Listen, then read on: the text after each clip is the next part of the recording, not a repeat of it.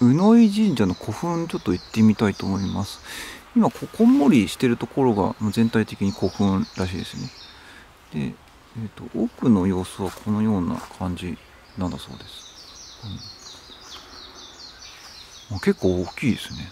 古墳としては。うん。戦後1800年前ぐらいもう縄文晩期3000年万3000年前から集落があってで弥生時代の終わり頃から有力者が作るようになってここにできたのが15001400年前、うん、だそうです。167メートル高さ4メートルの古墳。だそうですね、うん。まあ、中に入んないでくださいってのはね当たり前ですけどね。相当ふその時に作ったものですからどうなってもね。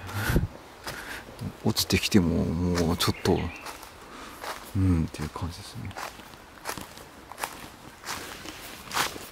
この中はちょっと分かりませんけどもさっきの写真のような感じになってるみたいですね。